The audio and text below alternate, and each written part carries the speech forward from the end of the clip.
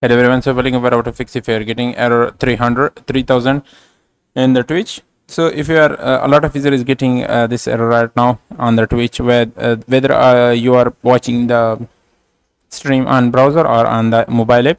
So uh, to fix this issue, uh, the first thing you need to do is simply check the server status page if the server is down for everyone.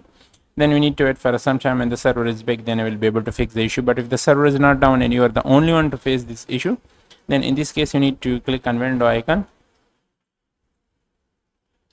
Uh, if you are uh, watching on PC then uh, simply restart your PC and once you restart your PC then uh, you need to open the browser again go to three, click on this three dot icon go to the setting. Here you need to select this option privacy and security and then you need to delete browsing data of all time and then press on the delete button.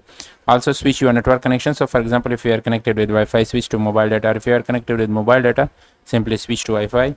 And uh, change a streaming resolution setting. So some user change the stream resolution and it also fix this issue for it.